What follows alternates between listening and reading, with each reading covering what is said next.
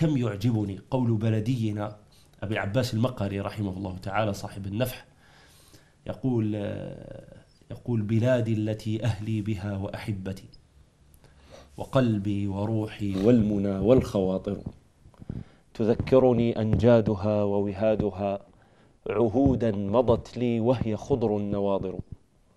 إذ العيش صاف والزمان مساعد فلا العيش مملول ولا الدهر جائر. بحيث ليالينا كغض زماننا. وأيامنا سلك ونحن جواهر. بيت بكينا والله شيخ أنت ذكرتنا برجل كتب موسوعة رائعة جدا.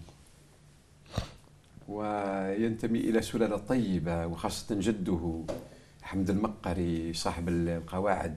نعم القواعد الفقهية. التي الذي يعتبر أحسن ما كتب في في القواعد إلى غاية عصر الشاطبي. والأمانة والتاريخ أنت تعرف أنه كتب نفح الطيب من غسل الأندلس الرطيب وذكر وزيرها لسان دين بن الخطيب وهو بعيد عن الأوطان ولا يملك مكتبته.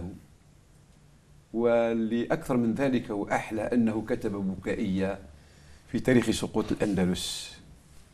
وعنده نصوص راقية راقية جدا. أنا ما لا تتصور كم صاحبني هذا الكتاب. ديرت أربعين عام. النفح أستاذ. نفح الطيب.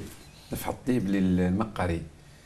ولذلك نفح الطيب أو هو في الحقيقة يعني الكتاب عبارة عن تجميع لمكتبة متنقلة من خلال حافظته.